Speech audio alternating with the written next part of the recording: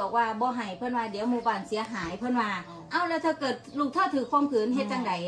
ทำไมถึงเป็นอย่างนี้เพิ่นก็เลยว่านี่ทองสามให้มาให้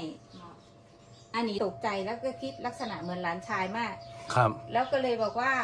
เอาอาร์ตทำไมมาขโมยเงินนะ ก็เลยเดินด่าโจรไปถึงตรงอ่างล้างจานนะคะอ๋อ คิดว่าหลานชาย ค่ะ บอกว่ามาขโมยเงินนะทำไมอะไรอย่างนี้ทำไมทำกับน้าอย่างเงี้ย ก็เบลอไปงงกับ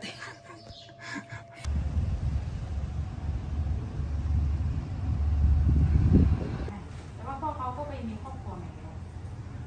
ก็คืออยากได้อิสระ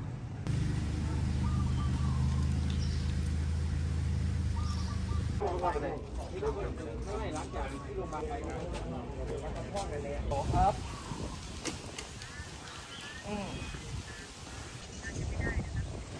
อเหรออ่าอ่าอ่าโอได้ได้ได้ได้นี่นะแล้วก็ปิดไปตามจนนั้นแล้วก็เข้าที่ที่อืม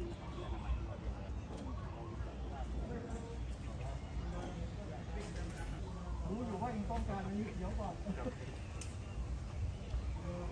ไปไปไปกินอันนี้ไปกินอันนี้ไม่ให้ลองแล้วก็ครับผมนำเรียนพ่อแม่พี่น้องประชาชนนะครับ แล้วก็ขอบคุณทางสื่อสารมวลชนที่ได้ร่วมด้วยช่วยกันทางนี้ ในเหตุการณ์ที่เกิดขึ้นก็ถือว่าเป็นเรื่องที่ชาวบ้านชาวช่องสนใจนะฮะตำรวจห้วยทับทันทุกคนไม่ว่าจะเป็นงานปอนะครับ งานสืบสวน งานสอบสวน ตอนนี้เราได้มาร่วมระดมความคิดกันว่าเรื่องที่เกิดขึ้นเนี่ยมันเกิดขึ้นได้ยังไง แล้วก็เป็นใครที่ทำนะครับ งานสอบสวนจะทำยังไงบ้าง งานสืบสวนจะต้องเดินยังไงบ้าง งานฝ่ายป้องกันปราบปรามจะต้องช่วยชาวบ้าน ให้มีความรู้สึกอบอุ่นใจยังไง ตอนนี้เราได้พูดคุยกัน แล้วก็วางแผนเตรียมงานทำงานกัน ตั้งแต่ 2 วันที่แล้วนะครับ คืนเมื่อวานและคืนเมื่อวันก่อน แล้วก็ลงกัน 4 5 6ทุ่มตีหนึ่งก็ปรากฏว่าไม่ได้เจอผู้ก่อเหตุ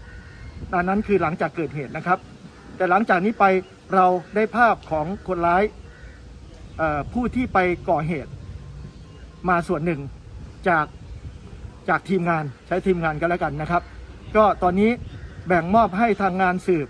แล้วก็งานปราบปราม แล้วก็งานสอบให้แบ่งจุดกันนะครับ แบ่งจุดกันเพื่อไปติดตามหา โดยเราจะเข้าไปที่ชุมชนหมู่บ้าน ผู้ใหญ่บ้านกำนัน แล้วก็คนที่คิดว่าน่าจะพอรู้จักหน้าตาของบุคคลคนนี้ ซึ่งภาพที่ปรากฏออกมาเราก็ยังไม่ไม่ยืนยันว่าเป็นเขาอย่างร้อยเปอร์เซ็นต์แต่ว่าน่าเชื่อว่าน่าจะเป็นบุคคลคนนี้ แต่หลังจากที่เราได้รายละเอียดต่างๆนะครับ ถ้าหากมีความเคลื่อนไหวใด ๆ หรือสามารถกำกับควบคุมหรือจับกลุ่มได้ ก็จะแจ้งให้ทางพ่อแม่พี่น้องประชาชนทราบ